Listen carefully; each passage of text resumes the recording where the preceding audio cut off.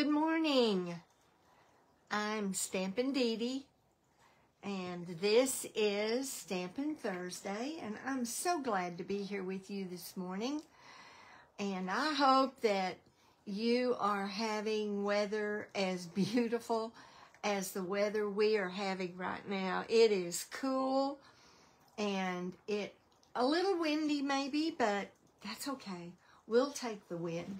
And um, some rain last night, which we haven't had for the whole month of October. So it, it is beautiful. We turned the air conditioning off, so hopefully no more big electric bills. Anyway, I hope your weather is beautiful too, and thank you for being here with me. Um, if you are, if you're watching this live, please say hello and let me know where you're watching from. Um, I appreciate that so much. And if you're watching the replay, thank you for doing that. Let me know that you're watching the replay. And if you're watching this on YouTube, thank you, thank you. Thank you to my YouTube subscribers. I love you. And I love to know that you're watching the video. So um, please let me know. And if you have any questions, just leave it in the comments and um, or email me and I will get back to you. So let's see. Um, next week, my Stampin' Thursday is going to be done from San Antonio. So um, I'm going to take my stuff with me. I, I thought about just skipping the Stampin' Thursday, but it is one I have looked forward to. It's a technique day. And um, the technique that I'm going to um, use is one I saw not too long ago, and I loved it. I loved it. So I couldn't wait to share it with you. And so I'm going to take everything with me, and I hope you'll tune in for next Thursday's Stampin' Thursday. And um, so let's get started. This is the sketch that we are using. And if, if you if you watch me, if you know me very well, you know that I love to use sketches. I I I'm inspired by sketches um, because I'm not I am not a creative person on my own. Um, but when I see something, I can envision redoing that and making it mine. When I see a sketch, I can see ways to do that, ways to to um, incorporate different things into it. And so I I really like sketches. Plus, it takes some of the difficulty away because you you don't have to figure out measurements. I mean, I, you still I do. I always figure out what my measurements are going to be. But I know, like on this one, I knew I was going to have three rectangles and some kind of a sentiment piece. Um, so let's get started with this. The base that you use for this card is eight and a half by five and a half, scored at four and a quarter. And then if you choose to use a mat, which I usually do, then that would be five and a quarter by four. And then your rectangles are two and a half by one and three fourths. So I will have all of this on my blog, all of the measurements. I'll have a picture of the sketch. I'll have all of that ready for you this afternoon on Stampin' Dee Dee's Doing, or Stampin' Dee Dee's Spot, dot blogspot.com stampindedesspot.blogspot.com. And I will also put it down um, on the YouTube. I'll put it down below the video. All right. So we're going to use this sketch and I'm going, I've cut my pieces to make this a little bit faster today. Because this is Halloween, right? Happy Halloween. And some of us are getting costumes ready for our kids or grandkids. I'm not, but some of you are. And um, so, so I used Night of Navy, my eight and a half by five and a half. And my card mat, my um, mat is basic white. So I'm going to go ahead and get that on because I don't have any reason not to go ahead and put it on.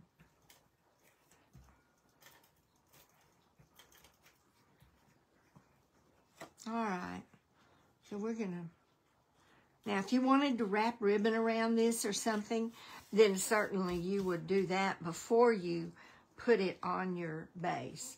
And I've already pre-cut my rectangles, and those are with Designer Series, or I use Designer Series paper. Now, you could use cardstock, you could use a mixture, but I used three pieces out of the Citrus Blooms Designer Series paper. Um, I love the blue side, so um, I wanted to incorporate those. So I'm going to arrange it. Now, the other thing is with a sketch, you can turn it this way. You can do it any direction. Um, I, I kept this card pretty close to the original so you could see. All right, I'm pretty much going to do this. And my sentiment piece, you know, I, I should have written down because I'm terrible at remembering. Um, this is out of one of my stamp sets, and doggone it, I can't remember which one, but I went ahead and stamped the sentiment that I wanted to use. And I'm probably going to put it up about there, maybe, we'll see. So I've already got that done. So I'm going to go ahead and get this piece down.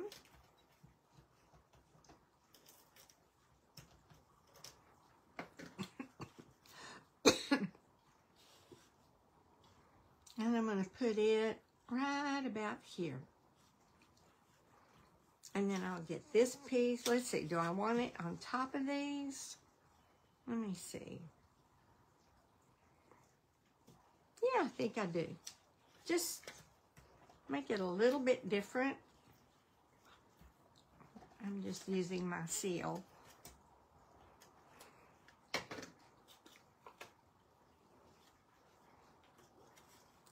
So, um,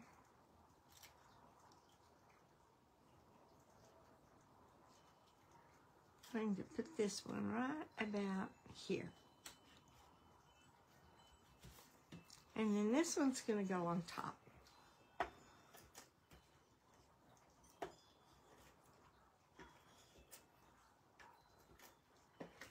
All right, here we go. Make sure that's straight. And I'll put this one over here. There.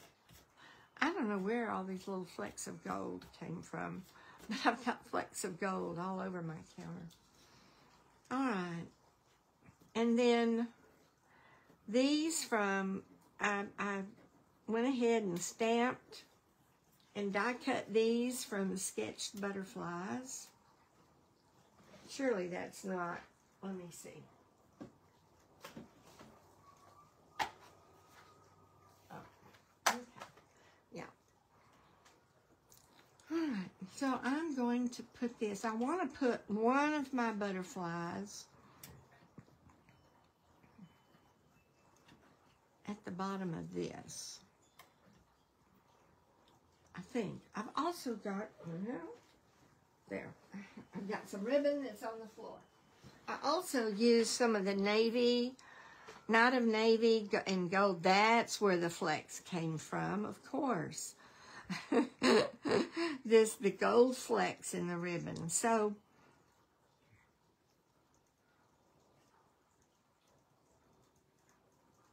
trying to decide if I want my ribbon at the bottom of this and my butterflies or I can move this in a little bit and put that there. It shows up better there, doesn't it?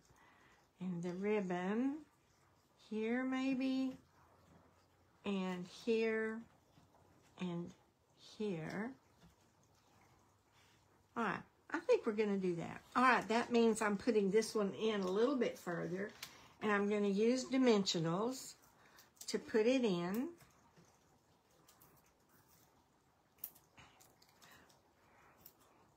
But you see how the sketch can afford you so much freedom to do it the way you want to do it. Now, I do want to cover the very ends of that. So I'm going to do it like that. Only I think it needs to be a little bit straighter. Okay. All right, then I'm going to tie my bow, and this is going to produce even more gold speckles. But we're not opposed to gold specks, are we? Can't have too much bling. Okay. This is where we knock them off. yeah, they're falling. Need it to be a little smaller.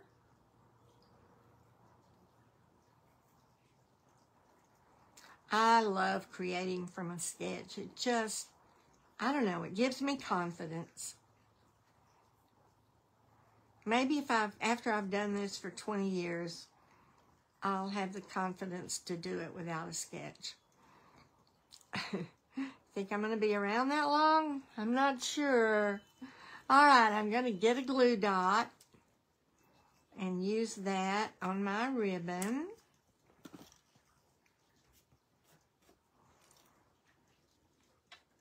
and I'll put that, and I was here, right? I'll put, put it right there.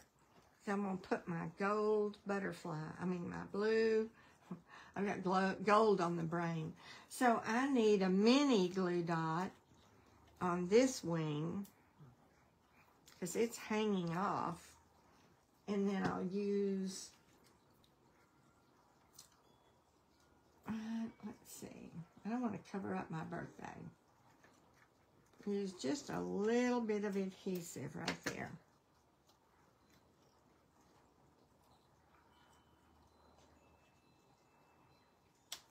You know, I think my glue dot, I mean my dimensional, needs to be a little more this way. All right, there we go. There we go. And I need to trim my ribbon, trim the tails.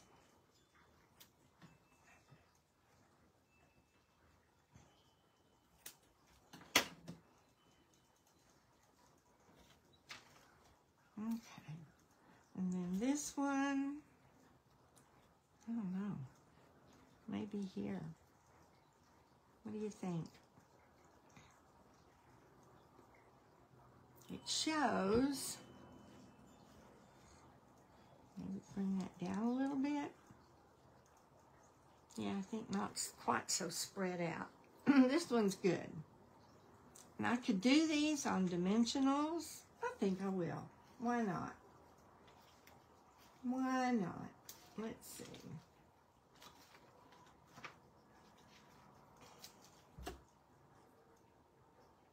Put a big dimensional right in the middle. You know what? We could even take our wings and fold them up a little bit. Make it look more like a butterfly. Okay. How about right there? Yeah. And this one, put it with a dimensional at the top.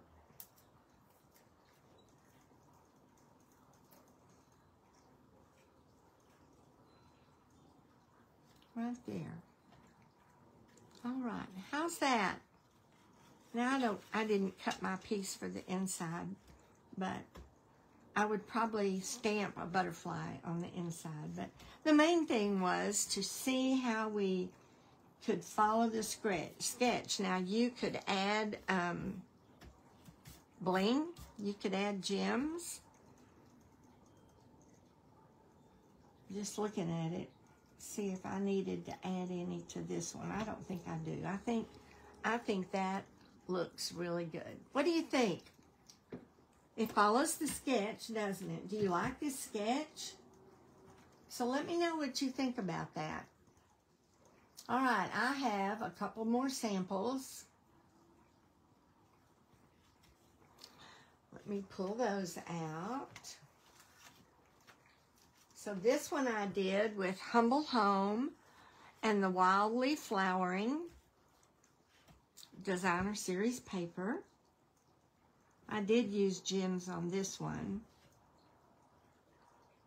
I cut, I fussy cut one of the flowers out of one of the patterns. And my Humble Home Punch. I didn't put the inside, but I did do the um, envelope. So there's that one. Put this down here. Now this one I took a little bit more liberty. I used a circle here. This one I just used a smaller sentiment piece. I, die, I fussy cut, maybe I die cut one of those, I'm not sure. Probably fussy cut the um, birds. I used ribbon and twine. I was just looking to see the twine is not showing so much on this side. But I did use ribbon and twine behind the sentiment piece. But still the same layout with uh, a Nest of Winter designer series paper. And I did the envelope.